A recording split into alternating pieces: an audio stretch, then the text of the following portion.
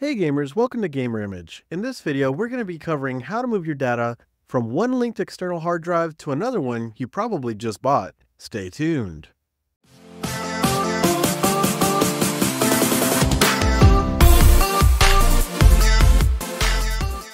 If you've been watching any of my past videos, then you know that I am crazy about moving data and trying every way in the world to make your lives easier.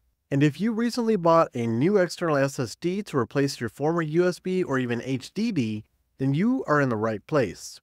Here, I've created the absolute easiest way to move data from your old hard drive to your new one, and you don't even have to be technical to do it. Here's what you'll need to get started. 1 an external drive that you've moved your data to from the C drive and have already created the symbolic link. Be sure to check out this video here if you have an external drive and want to simply move your data onto an external, getting it off of your C drive. This tutorial is quick, easy, and requires no technical skills to complete, so go check out that video to save space on your C drive. 2. Admin privileges. For this to run smoothly, you'll need administrator privileges. On both Windows 10 and 11, you can quickly check if your account has administrator privileges by following these steps. 1. Open the Settings app. Click in the Windows search bar and type Settings. Click the Settings app that appears in the list. 2. Navigate to Accounts. In the Settings window, select Accounts. 3. Select your info. On the left sidebar, click on Your Info. 4. Check Account Type. Under Your Account, you'll see Your Account Type. If it says Administrator next to your account name, you have administrator privileges. Alternatively, you can also use the Control Panel to check your account type. 1. Open Control Panel, type Control Panel in the Windows search bar and open it. 2. User Accounts. In Control Panel, select User Accounts. 3. Change Account Type. Click on Change Your Account Type. 4 check account type.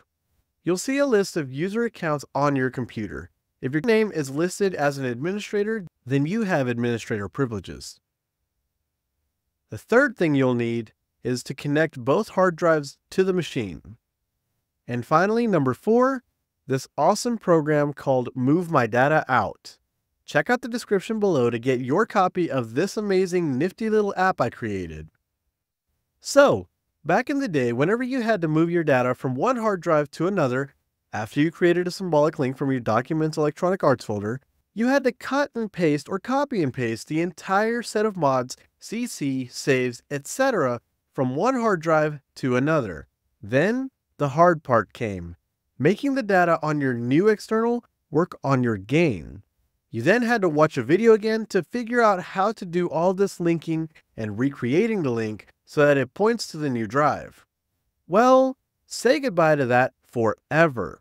I have been hard at work making yet another tool to make life so much easier for all my simmers out there.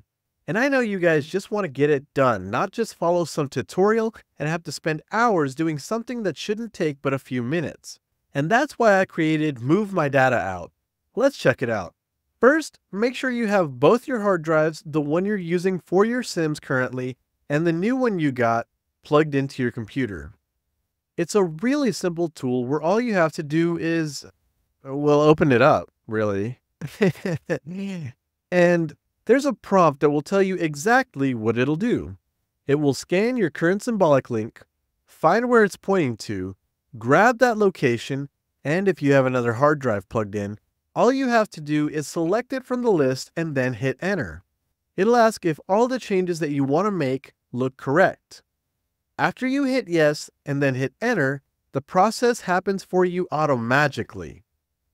All of your files are copied from your old hard drive to your new one, completed, and then an automatic symbolic link is created for you to the new files on your new external drive. No more waiting or watching videos trying to move your data from one hard drive to another. No, in this video with this tool, you get to have all of this done automatically with absolutely no time wasted. So, there are some things to note here. One, I built this program to be as fast as possible. That means that I didn't use things like progress bars or estimated time remaining counters because these calculations between copies can increase the time it takes to complete the entire job due to processing power. 2. Movement is progress. As long as the files are constantly in motion, assuming a file hasn't been stuck for a couple of hours, that's usually a good thing. Most mods are fairly small in size and you should see pretty constant motion. 3. Times to move your hard drive may vary based on several factors, including hard drive speed. If you're copying from a much slower USB stick or even external HDD, this can cause long copy times. Computer trash capacity. If your computer is already slow, then this will only take longer. In this case, I would recommend taking both of your external drives over to a friend's house and use the program on Amanda's blazing fast computer. USB type. Some USB drives come with a smaller connection known as a USB-C connector. These are typically very fast in comparison to USB 3.1 connectors that are blue at the tip. If you're using USB 2.0, then this could be very lengthy. USB 2.0 uses tips that are not blue. They may be white or black, but are never blue. These have the slowest transfer speeds. Try to avoid these if at all possible.